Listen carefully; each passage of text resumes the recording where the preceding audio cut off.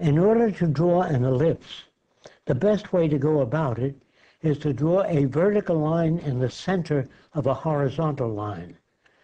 Now, whatever this distance is, you draw a circle at the end of this horizontal line. The circle itself is about one half of this distance. In other words, there's the size of the circle, and you draw one at the other end, which is as near the proportions as the ones that you've just drawn. In other words, these are about the same. Then you turn the paper and get an arc from the top of this circle to that point and back into the top of the end circle. Then you rotate the paper once again and go from the circle to that dot into this circle. Then you turn it back to the horizontal. This is approximately the way you draw an ellipse.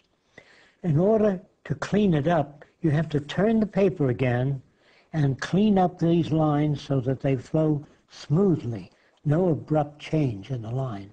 Then finish this off smoothly, and then work on this end. You don't have to worry about the inside of the ellipse. Once you get that, you turn it over again, reverse it, and you clean this line up. I'm about to draw a glass. And when I do, before I even start anything, I draw a line which will look like the letter H. I then draw a center line. I even turn the paper to make it easier, to make sure that this crosses at right angles to the center line. The bottom line also crosses at right angles to the center line. I then form an ellipse around the upper line. I then form an ellipse on the lower system, but the ellipse is somewhat deeper.